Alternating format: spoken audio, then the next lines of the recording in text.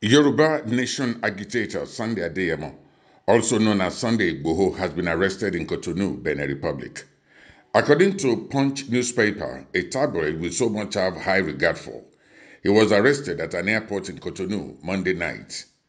Igboho was arrested by the security forces in Benin Republic about three weeks after the Department of State Services declared him wanted for allegedly stockpiling arms, an allegation he has since denied.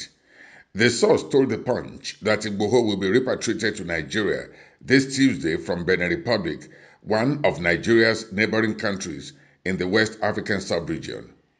The source added that Igboho was arrested in Cotonou while he tried to travel out on Monday night. His destination was Germany. The government of Nigeria had placed the Nigeria Immigration Service and the Nigeria Customs Service on alert to stop Igboho from leaving the country. When contacted, a member of Igboho's legal team, Pelumi Olajengbesi, said he will speak with the lead counsel, Yomi Aliyu San, and revert later. We heard DSS spokesman Peter Afunanya did not respond to a text message seeking confirmation on the matter.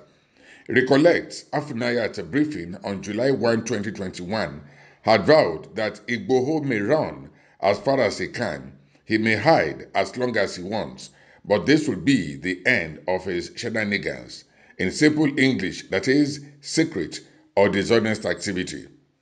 Stay with us on this page for the latest by subscribing and hit the notification bell so that anytime we come up with our breaking news, you will be the first to know.